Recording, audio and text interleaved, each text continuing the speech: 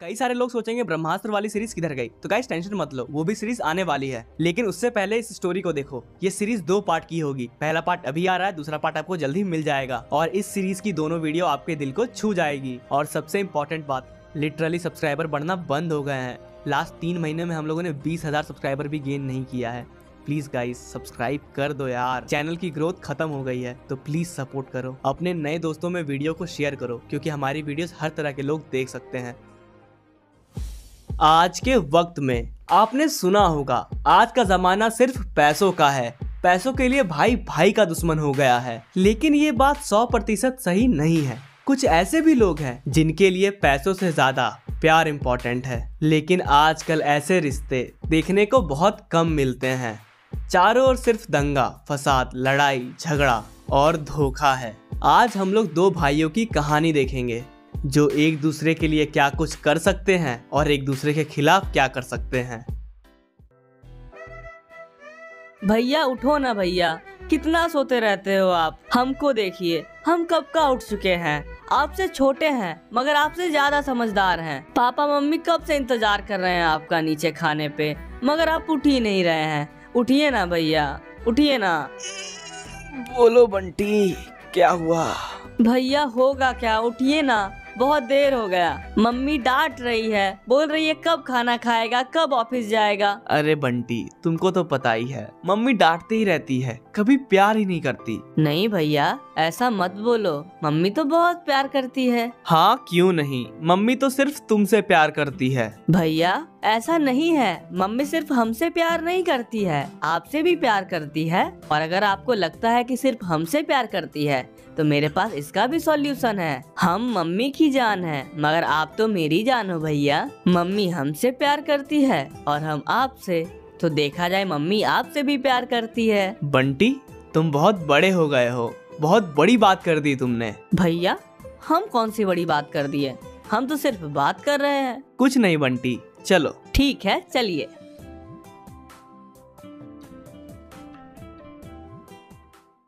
Good morning mummy. Good morning पापा। Good morning Keshav. Good morning Keshav बेटा। लेकिन केशव बेटा मैं तुमसे बहुत नाराज़ हूँ। तुम कितना सोते रहते हो? मम्मी आपको तो पता ही है काम का बहुत प्रेशर रहता है। इसलिए सोना लेट से होता है इसलिए उठना भी लेट हो जाता है। लेकिन आप चिंता मत करो मैं जल्दी इन सबको ठीक कर दूँगा। हाँ मम्मी भैया को मत डांटो। हम भैया को डांट सुनते नहीं देख पाएँगे। हाँ हाँ। आ गए भाई के रक्षक। बेटा केशव नाश्ता कर लो जल्दी से ऑफ़िस भी जाना है। जी पापा बस दस मिनट दीजिए।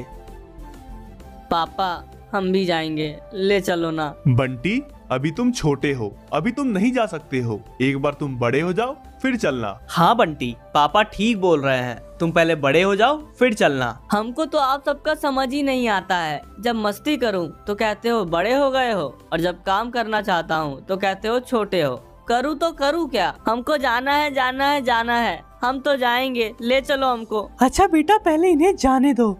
मैं तुम्हें किसी और के साथ भेज दूँगी। नहीं हम अभी जाएँगे। हमको अभी जाना है। अरे सुनिए आप निकलिए। मैं इसे समझा दूँगी। नहीं नहीं रुको रुको। नहीं जाओ रुको। हम भी जाएँगे। मम्मी हम जाएँगे। हमको जाना था। हम जाएँगे हम।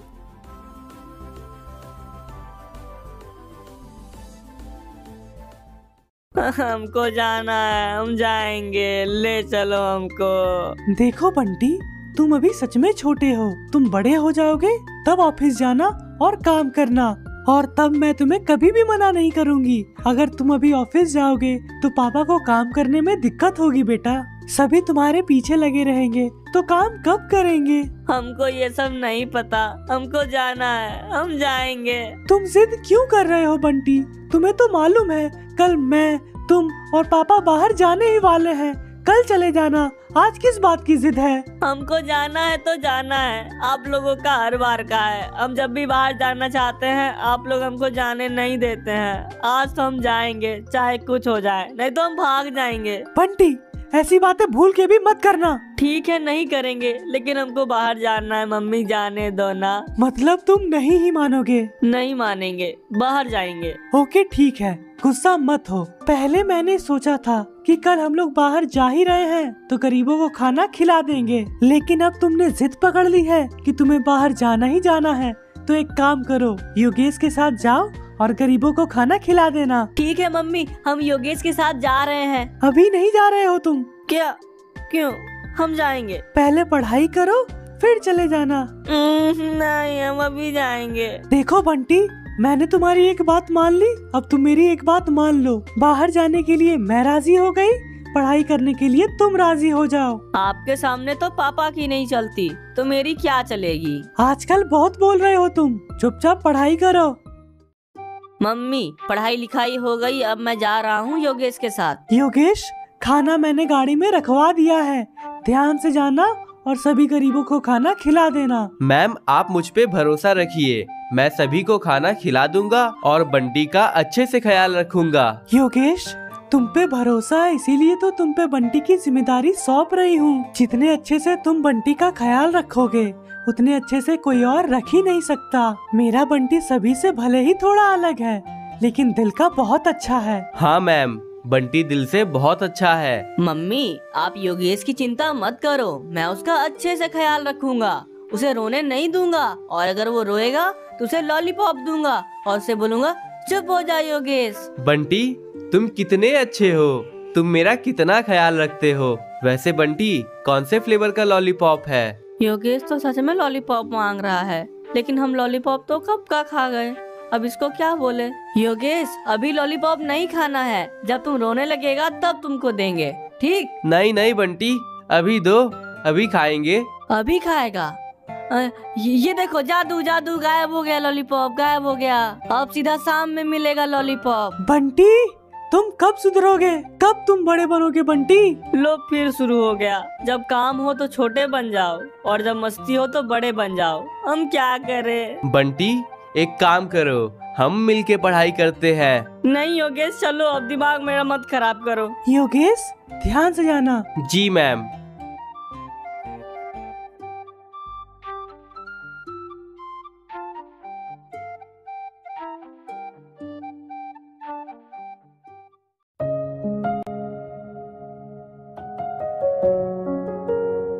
देखो बंटी पहुँच गए। योगेश ये लोग कौन है?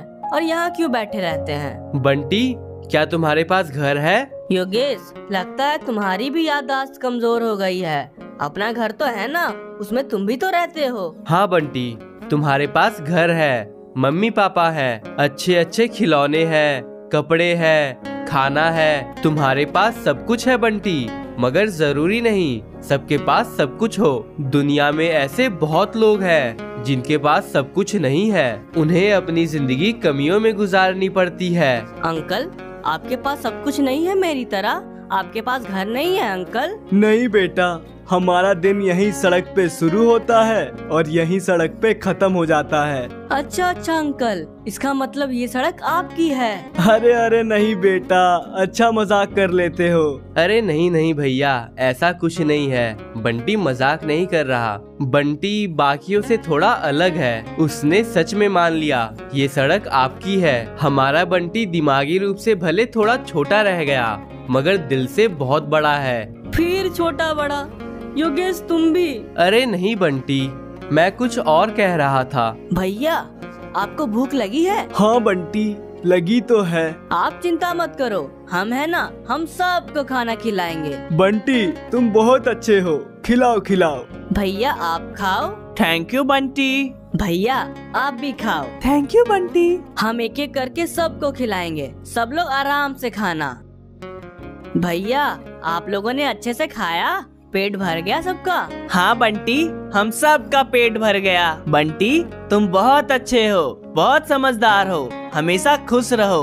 भैया हमको खुशी नहीं चाहिए हम तो बहुत खुश हैं। लेकिन मेरा भैया केशव बहुत टेंशन में रहता है। दिन भर बस काम काम और काम ही करता है।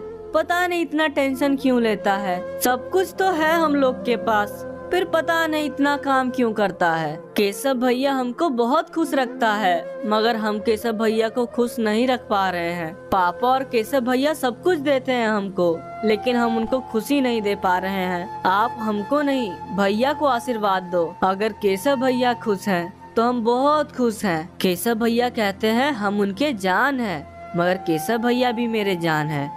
उनकी खुशी के बिना हम भी खुश नहीं रह पाते हैं। उनके सामने तो हम हँसते रहते हैं, मगर जब भी वो टेंशन में होते हैं तो हमको भी रोना आता है। अरे ओ भैया, आप क्या कहते हो? बंटी दिमागी रूप से पीछे रह गया।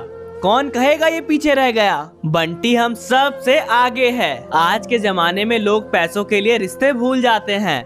मगर बंटी रिश्तों के लिए पैसे भूल रहा है। बंटी मेरी बात हमेशा याद रखना। चाहे कैसी भी सिचुएशन आ जाए अपने भाई को कभी मत भूलना। और हमारा आशीर्वाद है तुम दोनों भाइयों की जोड़ी कभी ना टूटे। एक दूसरे में इतना ही प्यार बना रहे। और सिर्फ़ तुम्हारा भाई नहीं तुम सभी खुश रहो। थैंक यू भैया। आप भी बहुत अच्छे हो। आप भी खुश रहो। चलो बंटी अब घर चलो। और वैसे भी तुम्हें मुझे लॉलीपॉप भी तो खिलाना है। योगेश तुमको अभी भी याद है। हम तो कब का भूल गए। हमको याद नहीं है। हम कब कहे थे तुमको लॉलीपॉप खिलाएँगे? हम्म कौन कहता है तुम पीछे रह गए? असली बिजनेसमैन तो तुम हो। काम भी करवा लिए और पैसे भी नहीं दिए।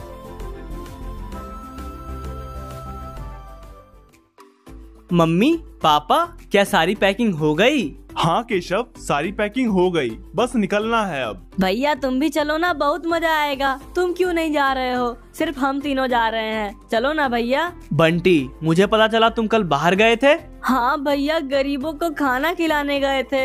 अब ये मत बोलना कि मत जाओ। जब कल तुम बाहर गए ही हो तो आज क्यों जा रहे हो? नहीं भैया हम जाएँगे। हमको जाना है भैया। अरे कोई बात नहीं जाने दो इसे। अच्छा मम्मी बताओ हम लोग कहाँ कहाँ जाएँगे? देखो बंटी पापा को दूसरे शहर में काम है तो सबसे पहले पापा अपना काम निपटाएँगे उसके बाद होटल में आएँगे कुछ देर आराम करेंगे फिर लंच करने के बाद हम लोग घूमने जाएँगे। क्या मम्मी हम छोटा भीम देखेंगे। अरे मेरे बंटी छोटा भीम तो तुम घर पे भी देख सकते हो। हम लोग बीच पे जाएँगे सैंड कार्सल बनाएँगे समुद्र में डुबकी लगाएँगे। उसके बाद हम लोग अम्यूजमेंट पार्क जाएँगे।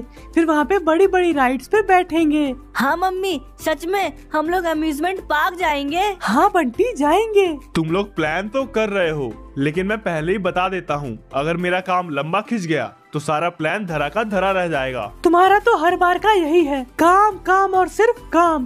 केशव को बोलो ना वो कर देगा। हाँ पापा मम्मी ठीक बोल रही है। अगर आपको हैवी लोड पड़ रहा है तो आप मुझे बताओ मैं कर दूँगा। हमको बताओ हम भी कर देंगे। हाँ पापा बंटी को बताओ। बंटी कर देगा।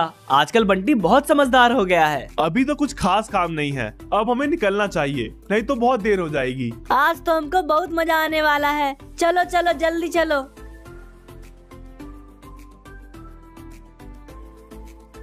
चलो चलो जल्दी गाड़ी में सामान रखो हमको जाना है। केशव ये टायर तो पंचर है। अब हम लोग कैसे जाएँगे? हाँ पापा मगर ये टायर कब पंचर हो गया? केशव तुम्हें पहले से ध्यान रखना चाहिए था। तुम्हें पता है हम लोग बाहर जाने वाले थे। तो ये ठीक क्यों नहीं कराया? पापा भैया को मत डांटो नहीं तो हम आपको डांटेंगे। अरे नहीं नहीं बंटी तुम चुप हो जाओ। पापा नहीं डांट रहे मुझे। वो तो बस मुझे मेरी गलती बता रहे हैं। पापा सॉरी मैं आगे से ध्यान रखूँगा। आगे तो तुम ध्यान रख लोगे मगर अभी क्या करना है? कैसे जाएँ? पापा आप और मम्मी दूसरी वाली कार से चले जाओ। मैं बंटी को घर में रख लेता हूँ। वैसे भी वो कल बाहर गया था। रोज बाहर जाएगा ये सही नहीं है उसके लिए। भैया हमको जाना है। जाने दो ना भैया। बंटी मुझसे प्यार करते हो? हाँ भैया जान से भी ज़्यादा। तो फिर मेरी बात मान लो बंटी। ठीक है भैया।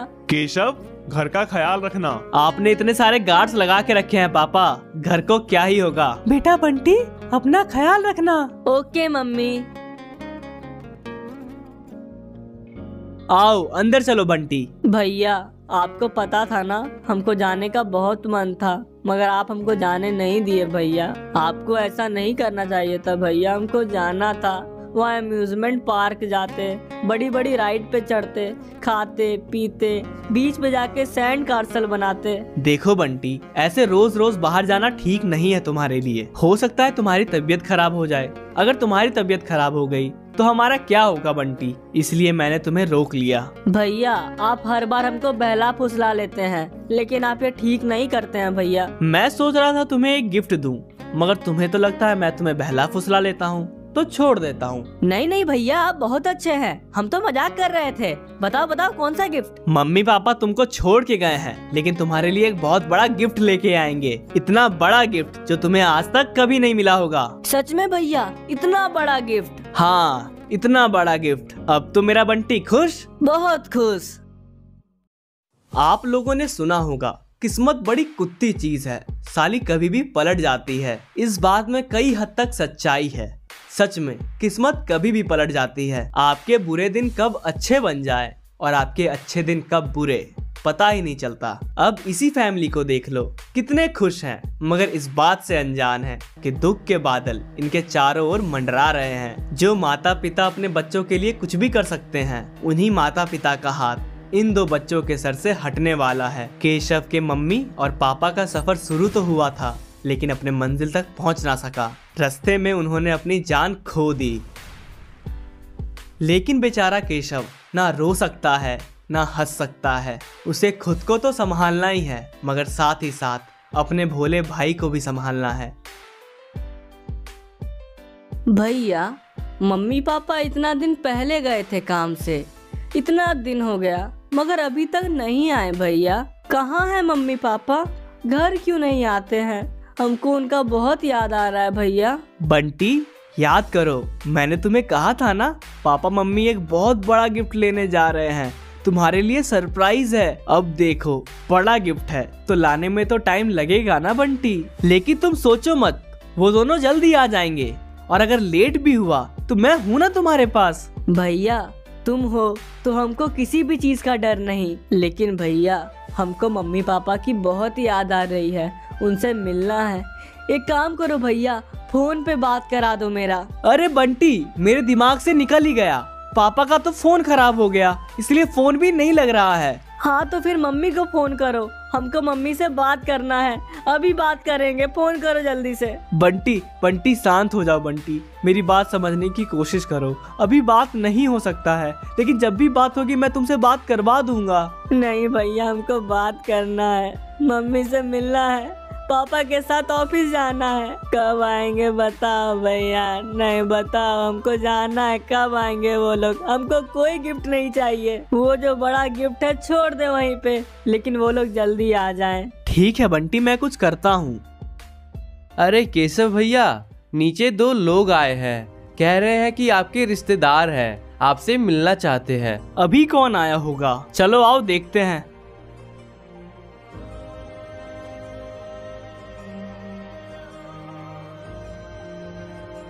अरे केशव बेटा कैसे हो? अंकल आंटी आप दोनों यहाँ?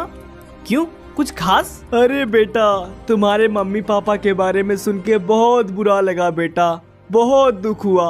कितने अच्छे लोग थे। अब क्या करे? भगवान अच्छे लोगों को जल्दी बुला लेता है। अब क्या ही कर सकते हैं अंकल? जो होना था हो गया। अब बंटी को संभालना मेरी ज़िम्मेदारी है। आइए अंकल आइए आंटी अंदर चल के बात करते हैं। हाँ चलो चलो। बेटा केशव अपनों की कमी हमेशा खलती है। तुम्हें तो पता ही है हमारा कोई बच्चा नहीं और जब से हमने तुम्हारे मॉम डैड के बारे में सुना है ये दुख और बढ़ गया है। भैया भैया पापा मम्मी कहाँ गए हैं भैया? अरे बेटा बंटी पापा मम्मी अभी घूमने गए हैं लेकिन जल्दी आ जाएँगे। हाँ हाँ भैया ने बताया था। देखो केशव हमारी ज़िंदगी में जो कमी है उसे तुम दोनों पूरा कर सकते हो और अब जो तुम दोनों की ज़िंदगी में कमी आई है उसे हम पूरा करने की कोशिश कर सकते हैं। हम दोनों ने तो हमेशा से ही तुम दोनों को अपना ही बच्चा माना है। अंकल हमने भी हमेशा आपको अपने माता पिता का ही दर्जा दिया है। बेटा क्यों ना हम लोग साथ रहे और अपनी कमी पूरी करे और खुशी खुशी ज़िंदगी बिताए। हाँ अंकल क्यों नहीं? मुझे बहुत खुशी होगी। आखिर मुसीबत में अपने ही तो काम आते हैं बेटा। अपने तो अपने होते हैं। जी अंकल, आप बिल्कुल ठीक कह रहे हैं। मैं इतना अकेला हो गया था, मैं आपको बता नहीं सकता। लेकिन आपने मेरा अकेलापन दूर कर दिया अंकल। जब से ये हुआ है, मैं सिर्फ़ यही सोच रहा हूँ, आखिर मैं बंटी को छोड़ के काम पे कैसे जाऊँ? लेकिन आप दोनों ने मेरी सारी मुश्किलों को दूर कर दिया। अरे बेटा केशव, तुम भी तो हमारे बच्चे हो। तुम ऐसा मत बोलो बेटा। अच्छा केशव बेटा, ये देखो, कुछ पेपर्स हैं। इस पे तुम्हारे और बंटी के साइन चाहिए। अंकल, ये कौन से पेपर्स हैं? अभी अभी जो हादसा हुआ है, उससे रिलेटेड है बेटा। आज से हम लोग यहीं रहेंगे, तुम्हारे लोकल गार्डियन बन के। बस उसी के पेपर्स हैं। तुम इस पे साइन कर दो, नहीं तो हो सकता है पुलिस हमें पकड़ के ले जाए। चोर समझ ले। अरे नहीं नहीं अंकल। आप दोनों चोर कैसे हो सकते हो? आप तो हमारे परिवार का हिस्सा हो। मैं खुद इंस्पेक्टर से बात करूँगा। कोई ज़रूरत नहीं है इन सब पेपर्स की। अरे केशव रुको। सुनो मेरी बात। अभी तुम पुलिस स्टेशन जाओगे बात करोगे फालतू का टाइम क्यों वेस्ट करना? तुम साइन कर दो मैं फ़ोटो खींच के इंस्पेक्टर को भेज दूँगा। हाँ भैया कर दो ना। क्यों जा रहे हो पुलिस स्टेशन? ठीक है ठीक है कर देता हूँ। ये लो यहाँ तुम कर दो और इस जगह पे बंटी करेगा। हाँ मेरा तो हो गया। लो बंटी यहाँ पे तुम साइन कर दो। दो दो हम तो तुमसे बढ़िया साइन करेंगे। लीजिए अंकल हो गया साइन। चलो ये काम भी हो गया। अंकल अब आप आ गए हो तो मैं आराम से काम पे जा सकता हूँ। हाँ केशव आराम से जाओ। मैं घर पे हूँ। मैं तुम सब के लिए खाना बनाऊँगी। Okay bye. बाय भैया। केशव बेटा मुझे चिप्स खाने का बहुत मन कर रहा है। एक काम करो यही थोड़ी दूर में दुकान है वहाँ से ले आओ। जी आंटी अभी लेके आता हूँ। अंकल गाड़ी की चाबी दीजिए। अरे केशव मुझे थोड़ा बाहर जाना है तो तुम पैदल चले जाओ ना। ठीक है अंकल कोई बात नहीं आप चले जाओ कार से। आंटी वैसे मैं जा ही रहा हूँ तो ये बता दो और कुछ भी लाना है तो वो भी लेता आऊँगा। हाँ, नहीं बेटा अभी तक जितना मुझे याद है कुछ लाने की ज़रूरत नहीं है। तुम बस चिप्स ले आओ। अगर कुछ घटेगा तो बाद में ले आना। ठीक है आंटी। मैं भी के लिए चिप्स ले आता हूँ। जल्दी जाके चिप्स ले आता हूँ। उसके बाद बंटी को खाना भी खिलाना है और फिर ऑफ़िस भी जाना है। केशव भैया रुकिए। कौन? अच्छा योगेश तुम? हाँ योगेश। बोलो क्या हुआ? केशव भैया ये जो कुछ भी हो रहा वो सही नहीं हो रहा है। मैं कुछ बोलता नहीं इसका मतलब ये नहीं कि मुझे कुछ समझ नहीं आ रहा है। शुरू में जब अंकल आंटी आए थे तब कितनी इज़्ज़त से बात करते थे। मगर अब तो उन्होंने आपको नौकर बना दिया है। आपकी गाड़ी की चाबी आपको देने से मना कर दिया। मुझे इनके इरादे ठीक नहीं लगते हैं। योगेश बंद करो अपनी फालतू बकवास। हमें ये नहीं भूलना चाहिए। जब हमें इनकी सबसे ज़्यादा ज़रूरत थी तो ये हमारे साथ थे। अंकल आंटी ने मेरे लिए बहुत कुछ किया है और इसके बदले वो मुझसे थोड़ा बहुत काम करवा भी लेते हैं। तो क्या दिक्कत है? ये तो हमारे परिवार का हिस्सा है। इस घर का नौकर तो मैं हूँ। तो ये लोग मुझे काम क्यों नहीं देते? आपको क्यों भेजते हैं? जब अंकल आंटी मुझे कोई काम सौंपते हैं तो मैं चाहूँ तो तुम्हें सौंप सकता हूँ। लेकिन नहीं सौंपता हूँ ना तब तो तुम नहीं बोलते केशव भैया बदल गए मुझे काम नहीं देते हैं। देखो भैया छोटी मुँह बड़ी बात। मगर मेरी बात मान लो। इन लोगों को वापस भेज दो। कौन यहाँ रहेगा और कौन नहीं इसका फैसला मैं करूँगा। तुम नहीं योगेश तुम अपना काम करो और मैं भी अपना काम कर रहा हूँ। सॉरी भैया।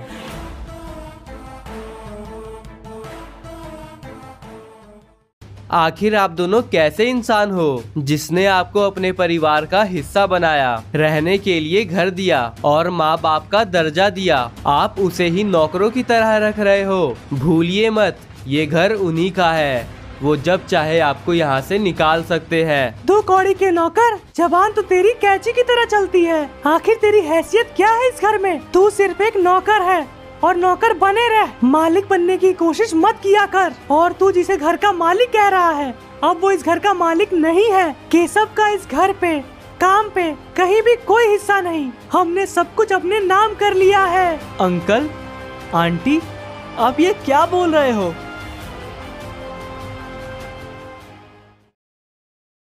केशव और बंटी की ज़िंदगी दिन ब दिन और खराब ही होते जा रही है। पहले उन्होंने अपने मॉम डैड को खो दिया। फिर एक अंकल आंटी मिले, मगर उन्होंने भी उन्हें धोखा दिया। केशव बंटी के अंकल आंटी उन दोनों को घर से निकाल देंगे, मगर क्या होगा आगे? अगर आपको तुरंत जानना है कि आगे क्या होगा तो डिस्कॉर्ड ज्वाइन कर लो। लिंक आपको डिस्क्रिप्शन में मिल जाएगा। डिस्कॉर्ड पे मैं खुद आऊँगा और आपको बताऊँगा आगे वाले पार्ट में क्या होगा। एंड आप लोगों से सच में रिक्वेस्ट है प्लीज़ सब्सक्राइब कर दो। ग्रोथ खत्म हो गई है। एंड इस वीडियो का कौन सा पार्ट आपको बेस्ट लगा, ज़रूर से कमेंट करना। एंड एक लाइक भी कर दो। एंड शेयर ज़रूर कर दो अपने दोस्तों में।